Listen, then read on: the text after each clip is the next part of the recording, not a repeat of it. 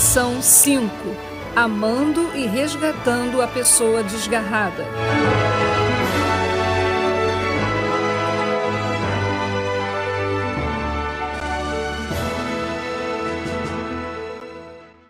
Que homem dentre vós, tendo cem ovelhas, e perdendo uma delas, não deixa no deserto as noventa e nove e vai após a perdida até que venha a achá-la?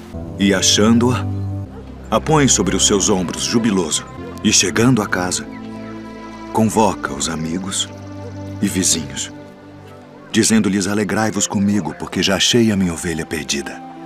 Um ensino bíblico e doutrinário sério e consistente. Domingo, a partir das 8h30 horas.